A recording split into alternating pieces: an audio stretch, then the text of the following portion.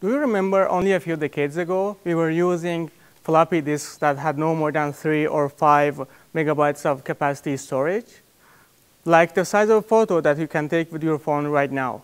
But these days, we're using hard disks of a few terabytes, and it's so normal, like a million pictures of the same size in only one disk. You can see the information burst already, and it won't stop here. It will keep going. Once we have this information, we need to share it with the rest of the world. And internet is one medium to do so. Fiber optics have proved to be the best system to transmit this information. In fact, as you can see in this picture, the fiber optics, the yellow lines, are the backbone of internet all over the world.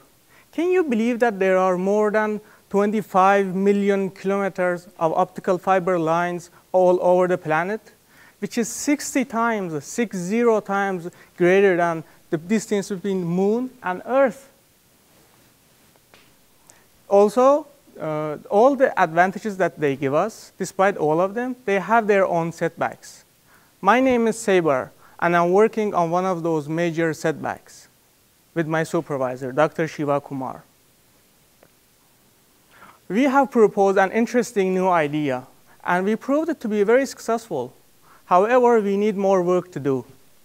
If we succeed, we will be able to transmit more information through this fiber in one second, which will increase the speed of the internet.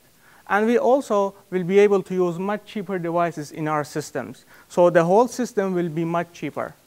So what we are doing not only increases the speed of the internet, but also decreases the cost of transmission. So isn't it just amazing? Thank you.